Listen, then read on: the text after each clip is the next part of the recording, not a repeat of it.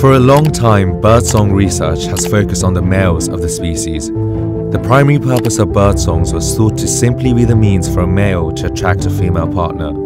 This turned out to be wrong. In many species such as robins, females also sing to defend territory, and their songs are just as complex and beautiful as those of males. This is a song of a male robin. And this is a song of a female robin. A recent study analyzed the songs of male and female robins, concluding that both sexes showed similar vocal ability and both performed songs with similar physical demands.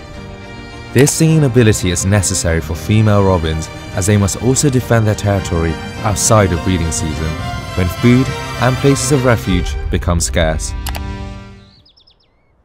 Studies like these remind us to question our assumptions about the role of the sexes in birds and in the animal kingdom more widely.